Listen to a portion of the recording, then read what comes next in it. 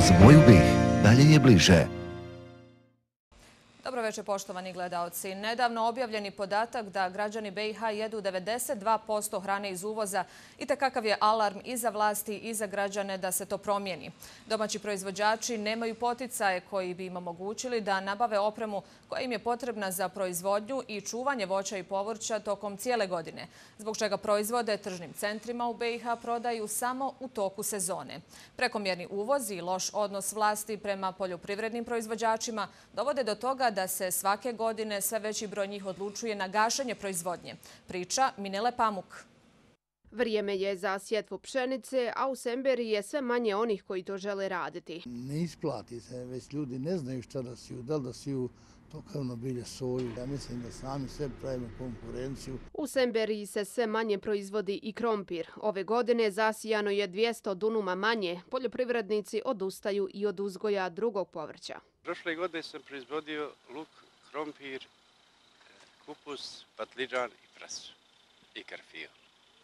A ove godine sam sve osam na luk i krompir. Konkurencija dolazi iz uvoza. Godišnje se uveze 505 šlepera krompira, 428 šlepera luka te 580 šlepera paprike. I to nije sve. Recimo, na primjer, e, jabuke da uvozimo u velikim količinama tokom cijele godine, pa to ispadne na dnevnoj bazi da mi uvezemo oko dva šlepera u stvari tih jabuka koje su veoma e, niske cijene od 10 do 30 feninga. Statistika kaže da je 92% hrane koju jedemo iz uvoza. Biće tako sve dok se ne promijeni politika podrške poljoprivrednicima od strane države. Sipamo gorivo u traktore isto koliko da vozimo najskuplje aute, traktore koji ne izvoze praktično na cestu. Plaćamo PDV u poljoprivrednoj proizvodnji, isto koji najluksuznija roba i tako da je poljoprivreda preopterećena i na kraju imamo preskupu proizvodnju. Drugi od razloga za smanjenje e, proizvodnje je e, nedostatak radne snage radna, e, radnika ne može se naći ni u Semberi, ni u Lijevču, ni nigdje. E, svodi se to sve na par radnika. Trgovački centri kupuju domaće voće i povrće. Iz kompanije Bingo kažu uglavnom sezonsko. Poljoprivrednici smatraju da može više, ali su svjesni da trgovce interesuje cijena. Proizvođači iz inostranstva u saradnji sa evo, predstavnicima i tržnih centara i ovih veletrgovaca E, naprave dogovor koji je visoko subvencioniran. Građani domaće ipak traže vantržnih centara. Ništa ne kupujem, voće, povrće, tu ništa ne kupujem. Gledam da kupim domaći, od koga znam, od koga mi je poznato. U velikim tržnim centrima ne znam da li domaće, ali ja odem na pijacu. Poljoprivrednicima je potrebna podrška države. U Bosni i Hercegovini je sve manje kupaca, a za izvoz nisu konkurentni. Trenutno jedino sa Njemačkom Bosna i Hercegovina ima pozitivan odnos uvoza i izvoza. Dvije osobe su povrijeđene na gradilištu kod hotela Holiday u centru Sarajeva u eksploziji plinske boce. TV1 na mjestu događaja saznala je kako je riječ o eksploziji poluprazne plinske boce koju su radnici koristili za varenje. Radnici su lakše povrijeđeni u padu prilikom detonacije. Policija je obezbijedila mjesto gradilišta, a radnicima je ukazana medicinska pomoć. U mjestu Ostrmci, opština Foča, sinoć u porodičnoj kući desila tragedija u kojoj je jedna osoba smrtno stradala. Prema nezvaničnim podacima, sin je ubio oca nakon čega je pobjegao s mjesta događaja. Osumnjičeni za ubistvo inicijala VP, nakon toga je uhapšen i prevedan u prostorije policijske uprave Foča. Više informacija bit će poznato nakon obavljenog uviđaja.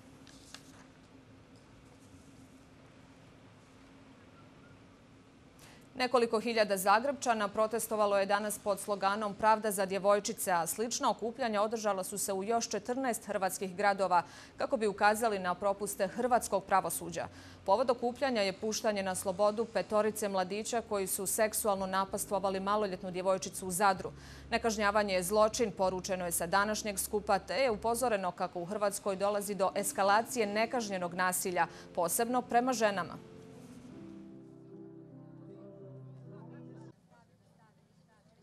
Ja sam Petra i ovdje sam zajedno s vama danas da tražim pravdu za djevojčice.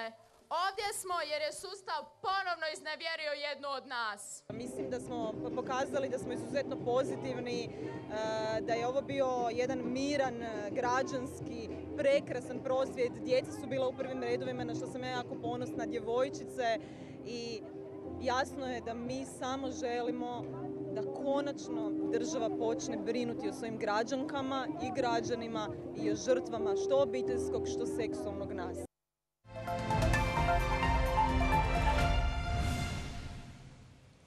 Predsjednik vlade Rusije Dimitrij Medvedev boravio je u jednodnevnoj posjeti Srbija povodom 75 godina od oslobađanja Beograda u drugom svjetskom ratu.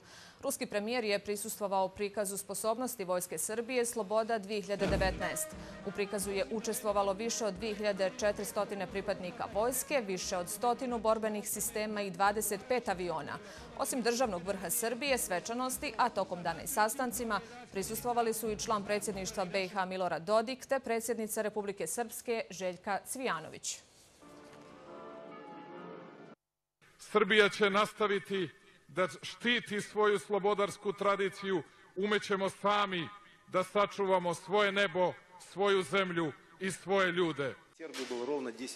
Tačno prije 10 godina, 20. oktobra, bio sam u posjeti Srbiji. Drago mi je što sam tu ponovo, posebno zbog povoda, 75 godina od oslobođenja Beograda u drugom svjetskom ratu.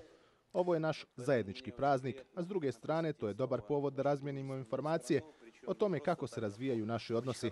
Razgovori će pomoći razvoju mnogostrane saradnje dvije zemlje. A u toku večeri planiran je i sastanak sa članom predsjedništva Bosne i Hercegovine Miloradom Dodikom. E, Dodik je prije sastanka naglasio da će osim ekonomskih ruskog premijera upoznati i sa političkom situacijom, ali i sa problemima neformiranja vlasti u Bosni i Hercegovini. Evo šta je još poručio. Rusija je ovdje se pokazala kao neutralan partner u smislu e, podrške lokalnim strukturama vlasti. Ona se ne miješa u unutrašnje pitanja bilo koje zemlje. Zahvaljujući Rusiji mi imamo priliku da se čuje i, i naša strana u tom savjetu bezbednosti. Jer viski predstavnik godinama dolazi i manipuliše sa e, predstavom te, te situacije. Najčešće ignoriše, e, ignoriše tu situaciju i pokušava kriviti Republiku Srpsku za sve i svašta. Premijer Sjeverne Makedonije Zoran Zajev zatražio je hitne prijevremene parlamentarne izbore kako bi u obnovljenom mandatu mogao da se bori za evropsku perspektivu Sjeverne Makedonije. Nakon odbijanja Evropske unije da otpočne pregovore o pristupanju Sjeverne Makedonije i Albanije, rekao je da preuzima odgovornost i razočaranost svog naroda, tražeći brze parlamentarne izbore.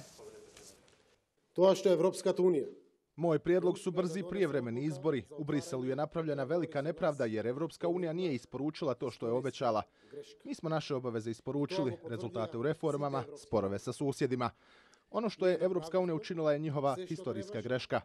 Napravili smo sve što smo mogli i što je bilo do nas. Hvala velikoj većini lidera Evropske unije koji su se borili za datum o početku pregovora. Cijenimo podršku i znamo da možemo računati na njih. Za mene je ovo loša i nepravedna postavka Evropske unije. Poručujem da Evropski san makedonskog naroda neće biti srušen. Slovenački premijer Marijan Šarec izjavio je da je Slovenija protiv o ulasku Hrvatske u Schengen odlučuje sadašnja komisija koju vodi Jean-Claude Juncker, te da bi to trebalo prepustiti idućem sastavu. Šarec je posljednjih nedjelja više puta istakao slovenačke rezerve o tome da sadašnja komisija odlučuje o Hrvatskoj spremnosti za ulazak u šengenski prostor, pojašnjavajući da bi u slučaju da odluka bude u korist Hrvatske i Slovenije djelovala politički, ne pojašnjavajući šta bi to značilo. Glavni prigovor ulasku Hrvatske ne tiče se tehničke spremnosti, nego spora oko sprovođenja arbitraže o granici, što Slovenija traži, a Hrvatska izričito odbija. Sadržaj dnevnika pronađite i na našem YouTube kanalu i web portalu tv1.ba. Evo koje vijesti možete pratiti u nastavku. Britanski parlament odgodio izjašnjavanje. Separatisti u Španiji demolirali Barcelonu. Studije izvodljivosti nisu urađene. Stanovnici lokalnih naselja protiv šljačišta u blizini domova. Posjetili smo jedinu uređenu pećinu. Za turiste zatvorena do proljeća jer čuva prirodno bogatstvo.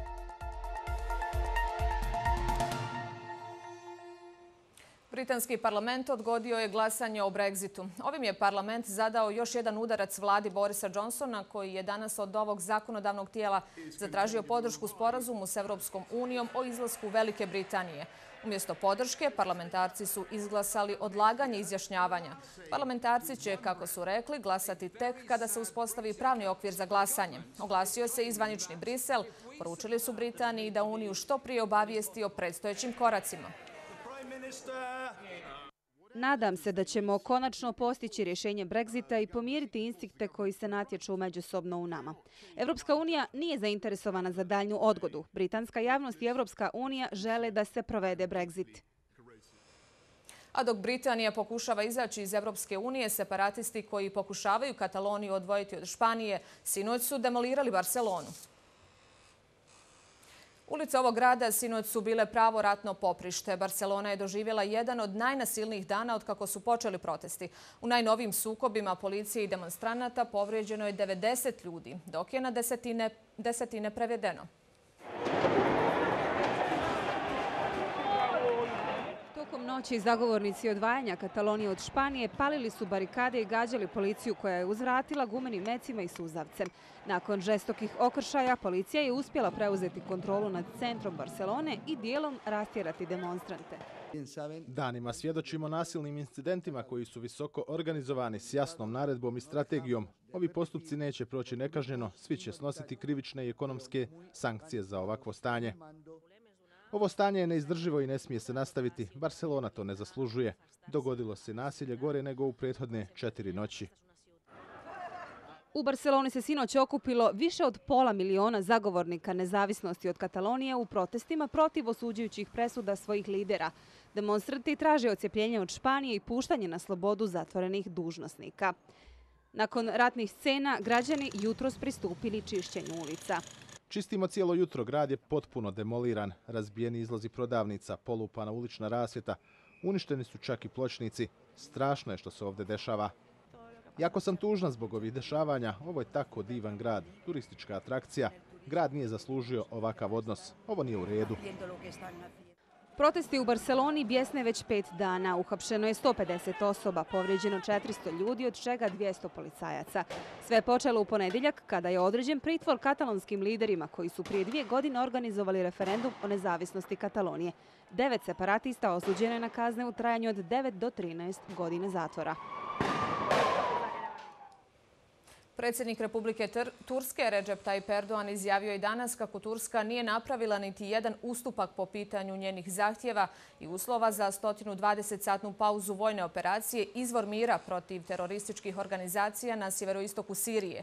Ukoliko se ne ispune obećanja koja su data Turskoj, mi nećemo čekati kao ranije, već ćemo nastaviti operaciju po isteku roka koji smo dali, poručio je Erdogan. Bölücü terör örgütünün Nastavit ćemo operaciju po isteku roka koji smo dali. Ukoliko se dogovor ispoštuje, ispoštuje, a ukoliko ne, od prve minute nakon isteka roka od 120 sati ćemo nastaviti gaziti glave terorista. S predsjednikom Rusije Vladimirom Putinom razgovarat ću o situaciji u Siriji, uključujući i to što su snage odane režimu sirijskog predsjednika Bašara al-Asada uz pratnju ruskih snaga ušle u neka područja koja su unutar pojasa u kojem Turska provodi operaciju. 400 kil Turska obavještajna služba izvela je operaciju u Meksiku i u Tursku dopremila Osmana Karadžu, jednog od čelnika organizacije FETO u toj latinoameričkoj zemlji. Karadža je uhapšen zbog optužbi da je učestvovao u osnivanju i vođenju naoružane terorističke organizacije. Riječ je o osobi koja je slovila za glavnog FETO imama u Meksiku.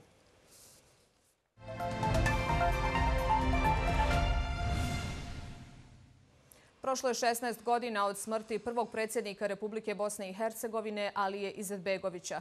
Njegovi prijatelji, porodica i brojne stranačke delegacije posjetili su njegov mezar na Šehidskom mezarju Kovači, gdje su mu odali počast. Prisjetili su se njegovog značaja kao državnika te ljudskih vrijednosti. Izetbegović je preminuo 19. oktobra 2003. godine u Sarajevu. U ime ambasade Irana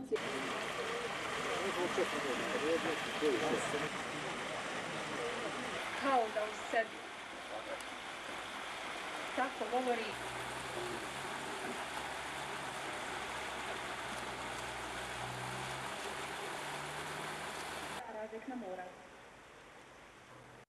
Borio se za opstanak svog naroda, bošnjačkog naroda. Borio se za opstanak zemlje. Borio se za ono što jeste ta zemlja, kazavši jednom da ovo nije samo parče teritorije na Balkanu, zemlje na Balkanu, nego da je Bosna i Hercegovina ideja da različite kulture, vjere, identiteti mogu da žive zajedno. Treba više da čitamo dijela Alije Izetbegovića. U njima ćemo naći jednu intelektualnu dubinu i naći ćemo odgovore i za današnja pitanja sa kojima se susrećemo. Odlagalište šljake iz termoelektrane Tuzla neće biti smješteno na nekadašnjem površinskom kopu Šički brod na granici između Tuzle i Lukavca. Ovo je rezultat velikog pritiska javnosti i protesta koje su organizovali mještani lokalnih zajednica. Izražavaju nezadovoljstvo načinom odlaganja i zbrinjavanja šljake. Planovi za izgradnju bloka 7 termoelektrane Tuzla u punom su jeku, ali nadležni još nisu riješili problem odlaganja šljake. U izmijenjenom prostornom planu Tuzlanskog kantona nije data precizna lokacija. Kao potencijalne lokacije spominju se iskorišteni površinski kopovi rudnika Kreka, kao i eksploatisani rudnici Slanice na Tetimi kod Tuzle. Na jednom sastanku koji su imali sa predstavnicima općine Lukava spomenut je površinski kop Šikulje, kao jedno od mogućih rješenja, međutim ne mora značiti da će biti samo to. A imamo takvi površinski kopova napušteni, imamo u Živincama, imamo na području općine Banovići. To bi bile potencijalni, znači mogući kopovi napušteni gdje bi se moglo vršiti odlaganje tog materijala. Softić dodaje da studije izvodljivosti nisu rađene, te bi to trebala raditi termoelektrana kao zainteresirana strana. Trenutno aktivno odlagalište šljake nalazi se nedaleko od termoelektrane Tuzla u naselju Bukinje, gdje stanovnici svakodnevno ističu svoje nezadovoljstvo zbog toga. Šljaka nije adekvatno zbrinuta. To prvi vjetrovi kad punu, to digne prašina. Jer inače mjesta zajednica Bukinje ima dosta šljakišta okolo sebe. Ima znači Bukinje, Divkovići i Hudeče. Ovdje je jako loš. Mi najveći problem imamo sa šljakištom. Već je se nek s dimljacima. Dimljaci bacaju prašnu na sve strane, a šakišta u okolici e, sve su privatni posjedi. Znači, kao predsjednik mjesne zajednice sam zadužen da, da štitim stanovništvo, njihovu imovnu i sve. Novi blok se radi, a niko ne spominje gdje, trenu, gdje ćemo šakište. Znači, mjesto osnovni problem se opet inače zataškaje. Postojeća šljačišta, po riječima mještana Bukinja, godinama ugrožavaju zdravlje stanovnika. Najviše, znači, oboljeli od karcinoma na ovom predjelu. Znači, sad što činje, ljudi umiru, znači umiru od karcinoma. U zadnjih par godina svi su umrli od karcinoma, nije niko umru, da kažem, prirodnom smrću. Kao alternativna lokacija ponuđena od gradske uprave Tuzla je rudnik Tetima. Smatraju da bi ova lokacija bila ekološki najprihvatljivija. Studije izvodljivosti i ekonomske opravdanosti nisu ugledale svjetlo dana. Građani su složni. Otvorena odlagališta šljake poput ovog u Bukinju su neprihvatljiva. Jedina uređena pećina u Republici Srpskoj, Orlovača kod Pala, čuvar je bogatog pećinskog nakita, ali i stanište endemske vrste slijepih miševa. Pećina je dom i za zakonom zaštićenu faunu, pa će vrata ovog prirodnog blaga od danas biti zatvorena do 15. aprila. Provjerili smo zašto. Baš kao i medvedi i slijepi miševi imaju isti dom, pećinu. Osim staništa dijele još jednu osobinu stanje hibernacije, odnosno zimskog sna. Stoga su od oktobra do aprila vrata jedne od najljepših pećina u BiH Orlovače zatvorena kako se 25 slijepih miševa ne bi probudilo. To isto kada bi vas probudili iz nekog sna i ne bi vam dali da jedete i da pijete narednih tri mjeseca, četiri. Slijepi miš da sad pojede 600 komaraca, za noć može pojesti 3000 insekata što zimi ne može naći. Grupa srednjoškolki članica Speleološkog društva objasnila nam je šta se dešava tokom hibernacije njihove životne funkcije u tom periodu gotovo prestaju sa radom, njihova tjelesna temperatura opada na samo nekoliko stepeni iznad nule. Oni postaju jako osjetljivi i ne smiju se uznemiravati. Najugroženija vrsta sisara u Evropi sada je najpoznatija životinska vrsta u pećini, a nekada prije 16.000 godina bio je to pećinski medvjed koji je težio i do 1,5 tonu. Život u potpunom mraku sa stalnom temperaturom od 9 do 11 stepeni nije moguć za biljke, a biodiverzitetski svijet je jako skroman. Primitivne vrste insekata, slijepi miševi, eh, i pećinski rakovi. Primitivne vrste insekata eh, se odlikuju eh, gubitkom organa za vid, E, gubitkom pigmenata, usporenim metabolizmom. Prvi put istraživači su ovdje ušli na poziv lokalnog stanovništva 1975. Pećina je duga 2500 metara, ali je za turista dozvoljeno bilazak prvih 500.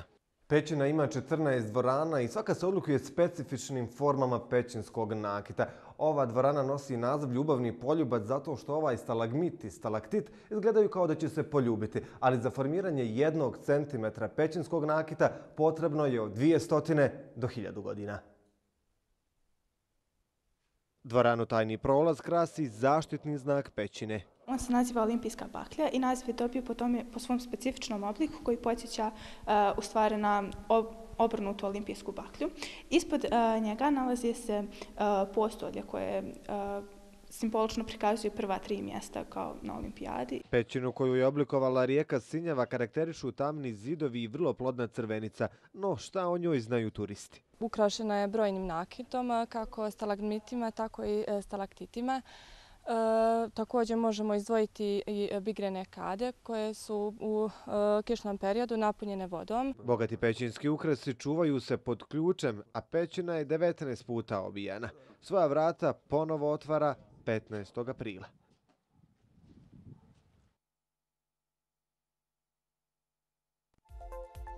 U sportski blok i vremenska prognoza. Hvala za pažnju i ugodno večer.